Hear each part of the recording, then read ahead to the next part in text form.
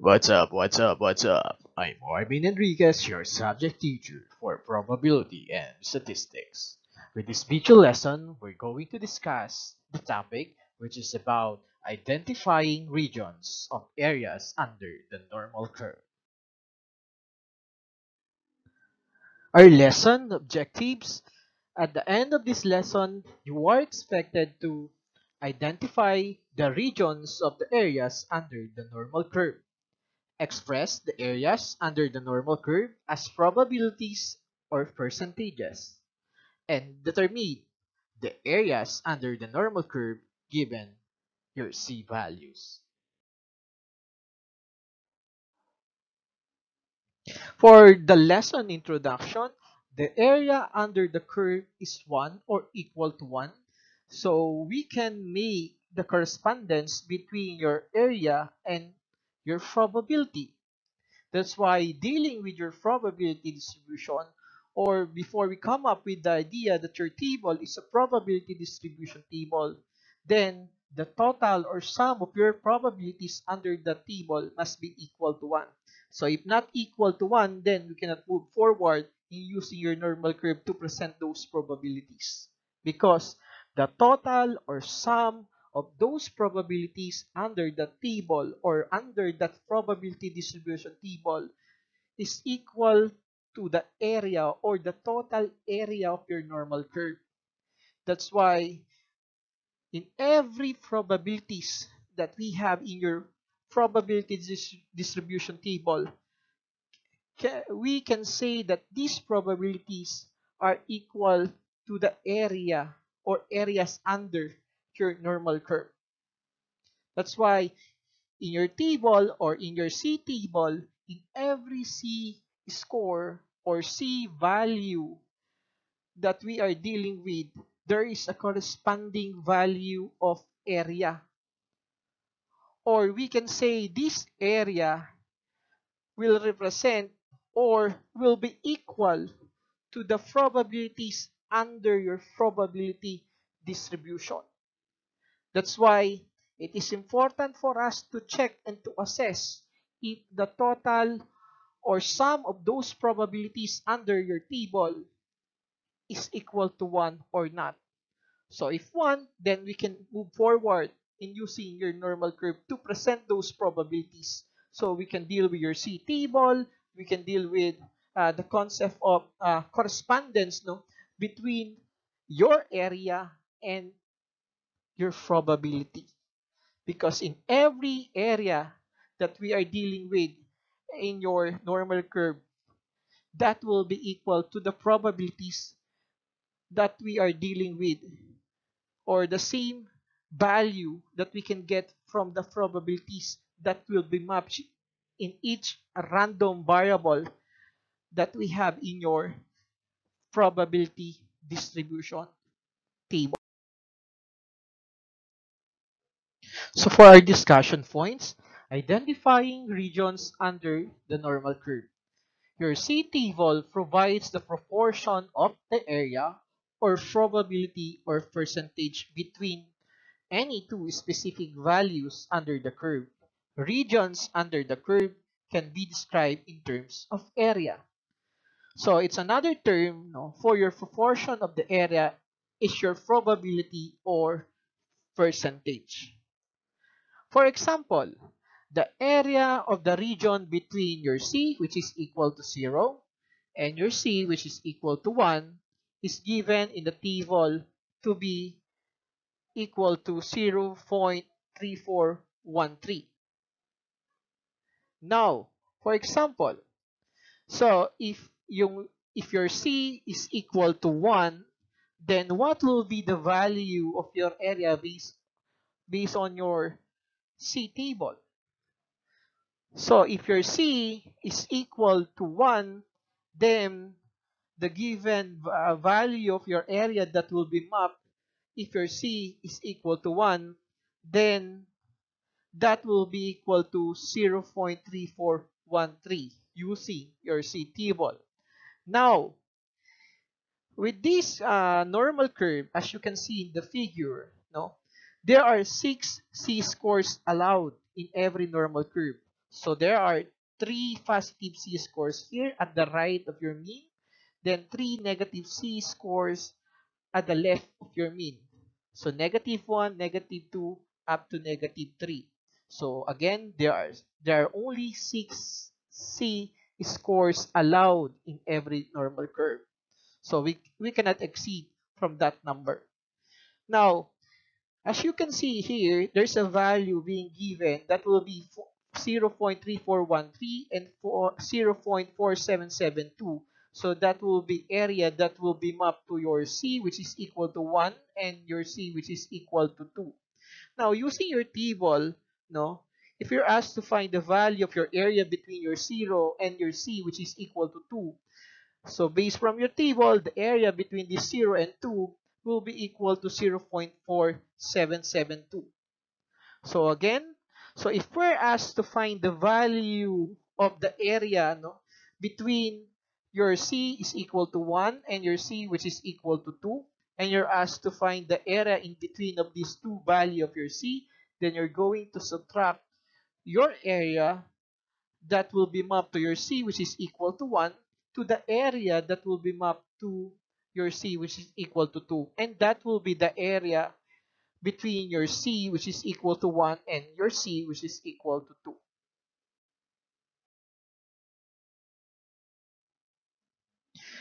As a part of the continuation of our discussion points, to find the area of the region between your C which is equal to 1 and your C which is equal to 2, we subtract 0.3413 from your 0.4772. So we're asked to find the area here between your 1 which is equal to C and your second C which is equal to 2. Now, if we're asked to find the value of the area from this shaded region, so what will be the process that we can do? So if there is a given value of area that will be mapped to your C which is equal to 1, and that will be equal to 0.3413, then if your C is equal to 2, then the area from your C table, now using your C table, your area is 0.4772 Again, if your C is equal to 2. Now, we're asked to find the value of your area between your C, which is equal to 1, and 2. So we're looking for the area of this shaded region. So we're going to subtract this value of C from your C, which is equal to 1, to your area from your C, which is equal to 2. So that will be equal to 0. 0.4772 minus 0.3413. So that will be equal to 0.1359. So that will be the area from your C, which is equal to 1, or to C, which is equal to 2, or the area in between your C, which is equal to 1, and your C, which is equal to 2.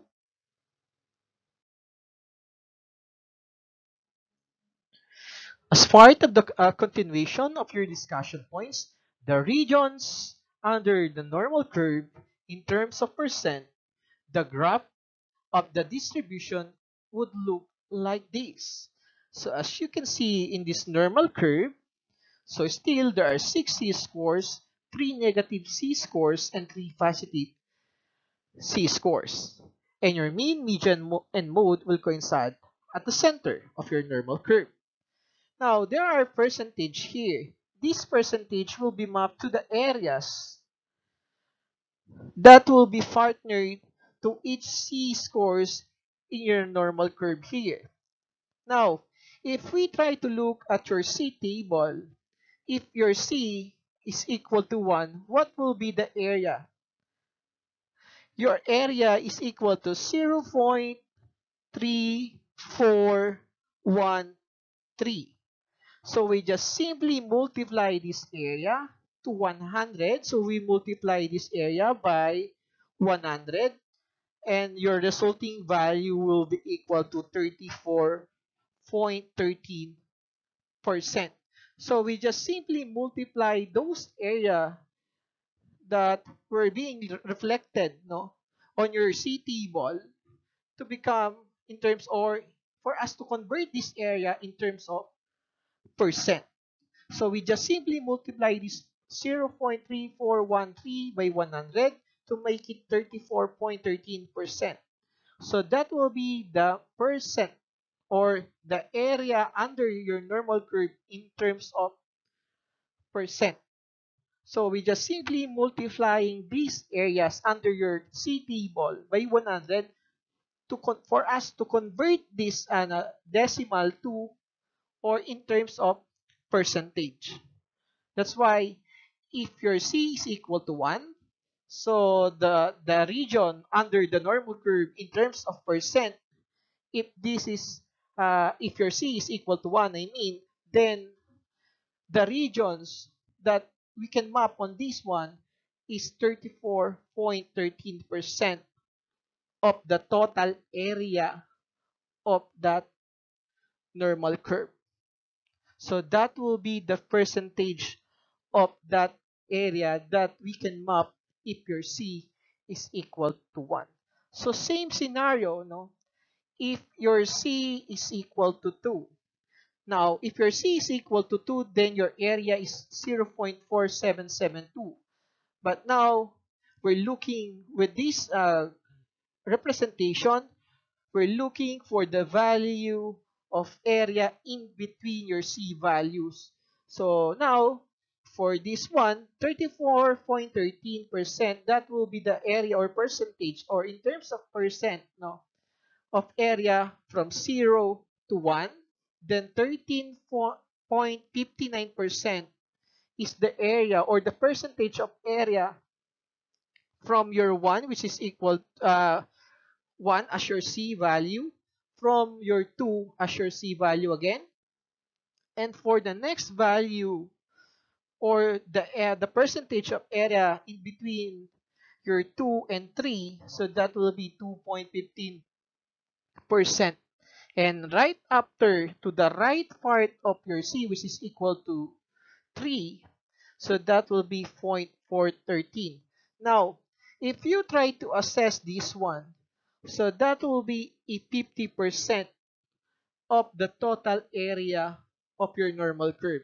Because the total area of this normal curve must be equal to 100%.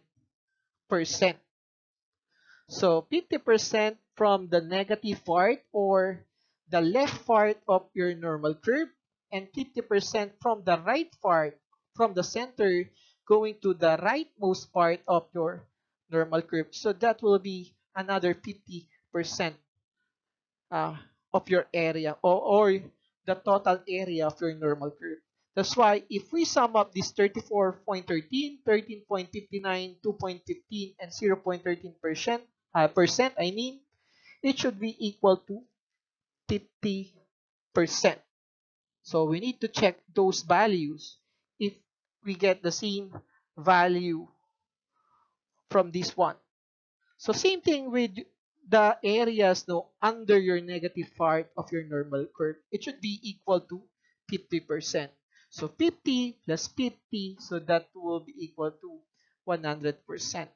Or if we convert this uh, 100 to, if we divide 100 by 100, so that will be equal to 1.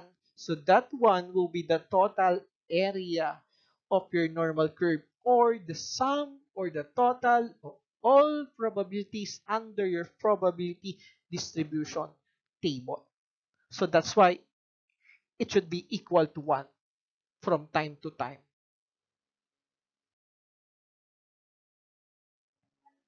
Again, as a part of your continuation of our discussion points for this video lesson, so using the C table in determining areas under the normal curve when C is given. So with our last video lesson, so there is a given value of your population mean, your population standard deviation, your sample mean, and your sample standard deviations. So we're asked to compute for the value of uh, the value of your mean. It depends on what formula we are going to use. And that formula or formulas that we're going to use will be dependent on what are the given values. If that is from the population or from the sample. So there are two formulas for that, one for population and one for the sample. Now, with this scenario, so there is a given value of your C here for step number one, and we're asked to find the value of your area. So what will be the area, no? Using your C table, using your C table, what will be the value of your area if there is a given value of your C score? Step number one. So write the given C value into a three-digit form. So this uh, slide, this slide, no, it's like a review for us because we're done dealing with this uh, type of uh, discussion with your first video lesson, no, with your module 3 part 1. Then your step number 2, find the first two digits, uh, two digits in row. So you need to find the two digits in row. Then your step number 3, locate the third digits in column. So you're going to look for the point of intersection of these two uh, thing, no? From your step number 2 and your step number 3. For your step number 4, take the area value at the intersection of row and column. So whatever the value between the intersection of this row and column, so that will be the value of area that we can map to each C scores that are being uh, given in the problem. So that's why we need to follow your step number one, step number two, step number three, and step number four systematically. For example number one, so find the area correspond to C is equal to positive 1.96. So there is a given positive C scores uh, C score here. So if we're going to graph this one, so if this is your normal curve, so if this is your mean, so this will be your positive side and negative side. So your 1.96 will fall somehow here, no? That will be your C, which is equal to positive 1.96. So from 0 to your C, so this will be the area. So we're asked to find the area of this shaded region between your 0 and your positive 1.96. Sir, is it the same area if we're asked to find the value of your uh, area between your 0 and negative 1.96? Definitely yes, because your normal curve is symmetrically. Uh, meaning to say, so whatever your area uh, between your 0 and positive 1.96 is the same area from your 0 to negative 1.96. That's why if you use your C table, no, I hope there is no irregularities the way we see our areas in your C table because again, whatever your area from your 0 to what value of positive value C scores in your right side is the same value from 0 to the same value of your C scores there. So, it's the negative sign lang po. So, meaning to say, negative at the, at the left of your normal curve and positive for the right of your normal curve. But the area is still the same because your normal curve is symmetrical. Then, your step number, there are four steps that we need to follow.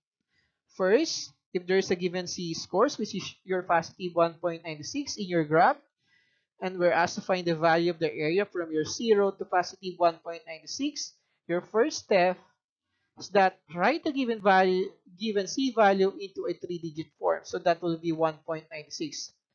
So we're lucky that the given value of your C is in a three-digit form. That will be 1.96. Then for step number two, find the first two digits in row, which is 1.9. So here is your 1.9. Now, for step number three, locate the third digit in column 0.06. So that will be 0.6 here. So as you can see in the table, this will be your 0.06 and this will be your 1.9.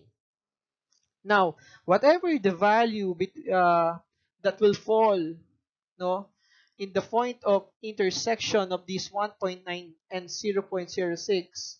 So that will be the area that will be mapped to your C which is equal to 1.96 or we can say that 0.4750 since 0.4750 is the point of intersection or the area of intersection between your 1.9 and 0.06 then the area between your 0 and positive 1.96 is equal also with your 0.4750 so this 0.4750 will be equal to your area from your 0 and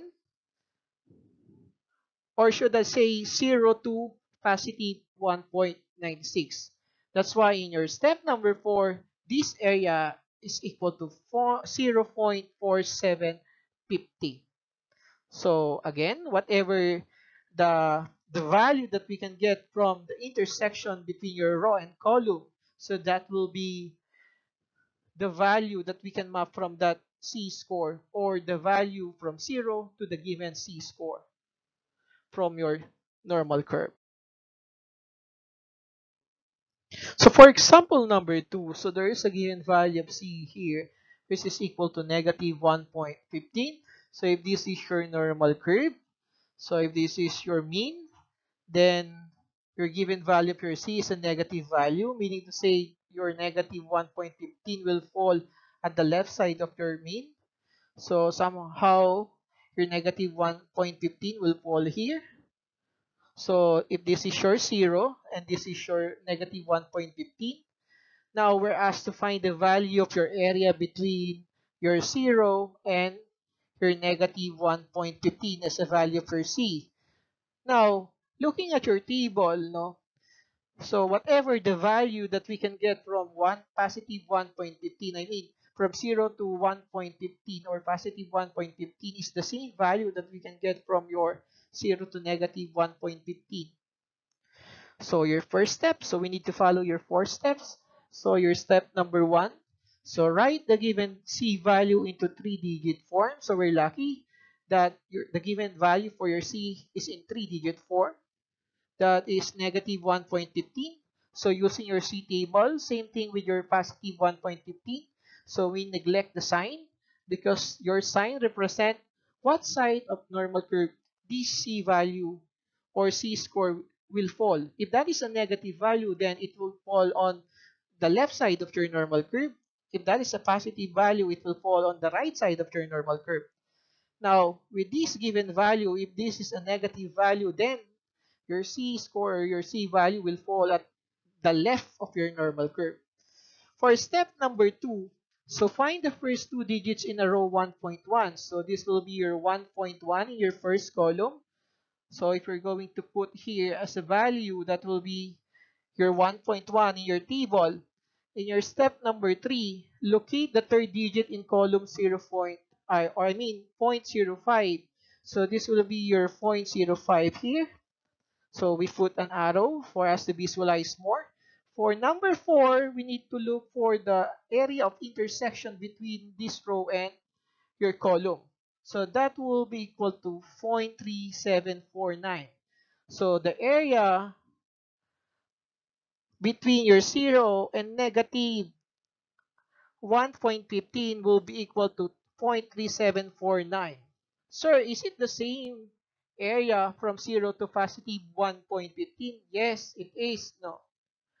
So whatever your area between your 0 and negative 1.15 is the same area from your 0 to positive 1.15. So I hope it was clear enough, no? And please do practice, no? If there's a given value of your C, if there's a given population mean and your sample mean, and you're asked to compute for the value of your C, and look for the value of your area using your C table. So please do practice and practice and practice until such time that we are not aware but we mastered everything from our C table.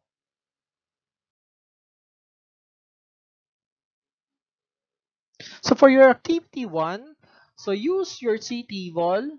Again, we're going to use your C table for us to find the area that corresponds to each of the following C values. Here, there's a given positive 0.56, positive 1.32, and 3 negative values of C. So these two value of C will fall at the right side of your normal curve, and these three negative values of C will fall at the left of your normal curve. Do the indicated task. So explain why the proportion of the area to the left. So you need to take note of this. To the left of C is equal to negative 2.56. So we're not looking for the value of your area from 0 to negative 2.56. We we just need to explain why the proportion of the area to the left of C is equal to negative 2.58 is equal to 0.49%. Why is that? We say that 0.49% is the area, no? Or the proportion of the area that we can map at the left or to the left of your negative 2.58. So what is the reason? So you need to explain that. For number 2, explain why the total area of the region between C and negative 3 and positive 3 is 0.9974 or 99.74%. So I hope this will be a clear value, your 0.9974. If we multiply this value by 100, so that will be equal to 99.74%. Now, in getting this value, no, if we're asked to check if that is equal to 0.9974, if this is your normal curve, so you need to locate your values. If this is positive 3, then if this is your negative 3, then what will be the area in between your negative 3 and positive 3? So that will be, is it equal to 0.9974 or 99.74%? So you need to check that using your C table and you need to explain why we come up with the idea that 0.9974 is the area in between your C is equal to negative 3 and C is equal to positive 3. So again, your task is to explain why we come up or we came up with that value. Using the C table in determining areas under the normal curve, no, when your C is given as part of the summary, you need to follow your step number one, step number two, and step number three, plus your step number four.